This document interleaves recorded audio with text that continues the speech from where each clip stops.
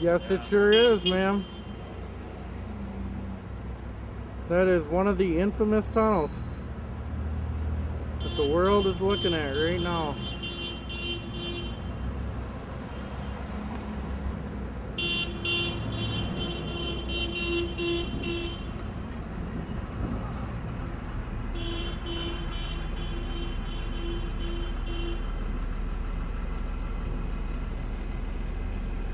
Okay, people are starting to figure things out.